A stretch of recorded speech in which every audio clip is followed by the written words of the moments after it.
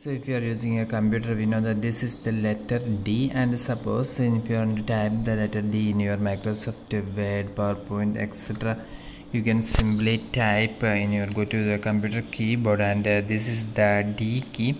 And suppose if you press this uh, D key then you can see that the letter D have been arrived here. Suppose if the caps lock is on then if you type the D key then you can see that the capital letter D have been come here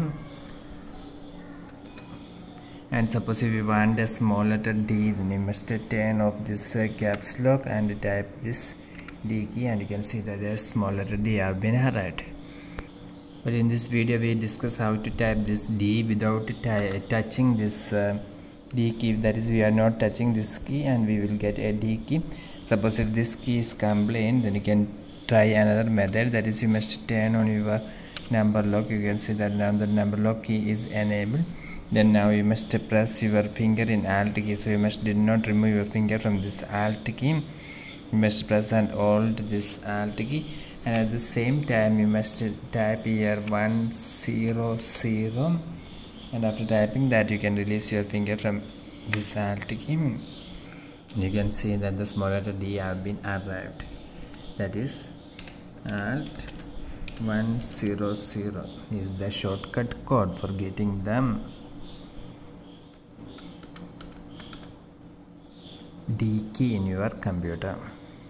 And suppose if you want to get a capital letter D, you must press and all this Alt key.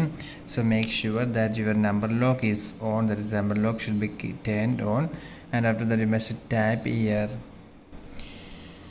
68 after typing that you can release your finger from this uh, alt key and now you can see that the capital letter D have been arrived that is the shortcut for for typing this uh, capital letter D is Alt 68 in your Windows computer. That is, if you press Alt 68, you will get a capital letter D, and if you type Alt 100, you will get a small letter D. For more video updates like this, please subscribe our channel Engineers World Online. Thank you.